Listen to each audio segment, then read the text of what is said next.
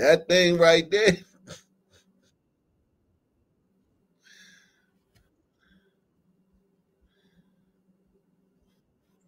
That thing right there. He different, man.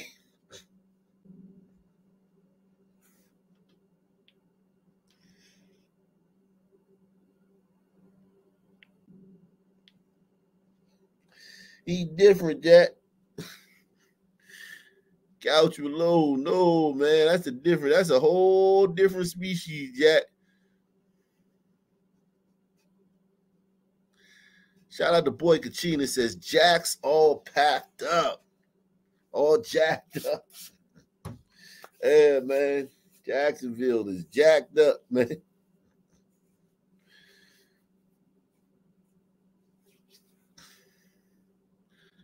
Let me the link in the description box, man.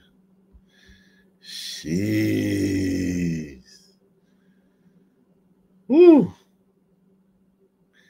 These sun turds ain't no joke, man. They ruin everything, man. They like locusts, man, termites, man. Shout out to shout out to Guy Ninja, man. Guy Ninja in the building, man. On Rumble, man. Guy Ninja in the building. Shout out. These motherfuckers are like locusts. Jeez. Wow.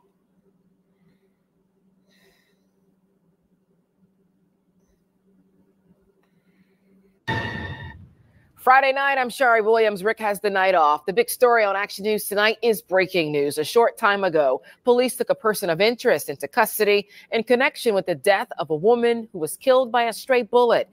The woman was shot at a home in Kensington this afternoon. Tonight, investigators tracked down the person's car, which led them to a home in Northeast Philadelphia.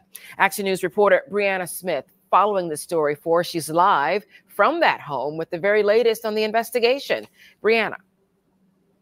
Sharrie, Philadelphia police say they were able to take one person of interest in for questioning here on St. Vincent Street, but they're still looking for one more. And this all comes after an innocent woman was shot and killed earlier this afternoon in Kensington. Philadelphia police say they took one person of interest in for questioning after a barricade situation at this home on the 1300 block of St. Vincent Street in Northeast Philadelphia. You can see SWAT and several police officers surrounding the house from above from Chopper 6. Police sources tell us the incident began in Kensington just after 1 p.m. Friday on the 3400 block of Tampa Street, where a large fight unfolded between males and females. During the confrontation, a female took out a gun and then a male grabbed it and started shooting. I hear like three shots.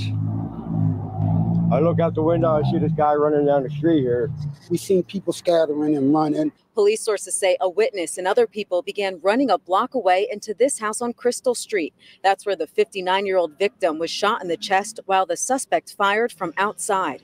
You can see at least two bullet holes in the front window. And it shouldn't happen. That's disrespectful. I just hope that these guns, or they can do something about these guns on the streets of the city of Philadelphia. What about the shooters, man? Uh, what, what about the people that are um squeezing the triggers on the guns? Uh, you got anything to say about that, man? Shouldn't happen. That's disrespectful. I just hope that these guns, or they can do something about these guns on the streets of the city of Philadelphia. Again, police are still searching for one more person of interest, and they just towed a vehicle that they believe is involved in the in the investigation. And this investigation is ongoing, so we'll have more information as the story develops. Live in Northeast Philadelphia, Brianna Smith. Chan- Man. 59 year old woman shot by a straight bullet because some goddamn orangutans wanted to fight. Some orangutans wanted to fight, so she ended up getting shot with a straight bullet.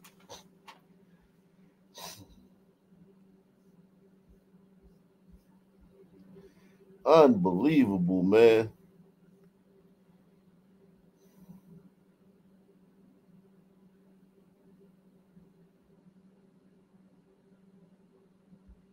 Now to a scary situation in Parkside. Overnight, an innocent woman was injured when she was hit by a bullet from a shootout that happened nearly two blocks away. And now the search. This is the same city yesterday. So, two days in a row, a woman gets hit with a fucking stray bullet. Two days in a row. This is a different story from yesterday in Philadelphia. You only get this here. Hit the like button. Now to a scary situation in Parkside. Overnight, an innocent woman was injured when she was hit by a bullet from a shootout that happened nearly two blocks away. And now the search is on for the suspects who fired dozens of shots. Action News reporter Charles Watson is live at police headquarters with brand new details on this case. Hey, Charles. Yeah, hey, Aliana and Alicia. Police say they found more than four dozen shell casings scattered throughout that scene in Parkside. And now, with no suspects in custody, investigators are now combing through security video in hopes of tracking down the shooters. Philadelphia police. Philadelphia police are searching for the shooters who fired dozens of rounds on a residential street, wounding at least one person. It happened around 11:40 Thursday night on the 5400 block of Wyalusing Avenue near North Conestoga Street. Police say they found 58 shell casings at the scene.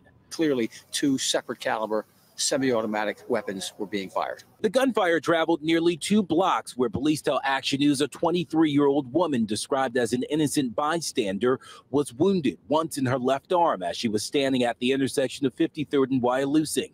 The victim had left her house to go to a 24-hour store. We're told when she heard the gunshot, she started to run but fell shortly before she was able to get help nearby. And that's when she passed down a motorist who transported her to Presbyterian Hospital. At least two parked vehicles, including this one, were hit by gunfire. Police say the suspects fled the shooting scene. However, they tell us investigators are looking at security video from real time police crime cameras in a nearby store in hopes of identifying those who were involved. Meantime, Chief Inspector Scott Small says folks who live in the area are fortunate nobody else was injured or killed for that matter after so many rounds were fired. We're very, very fortunate that there's only one shooting victim who's stable. She's shot in the arm. That's a whole lot of shots fired in this mainly residential area.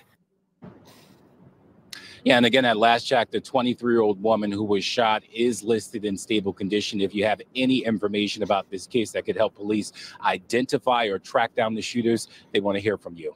For now, we're live.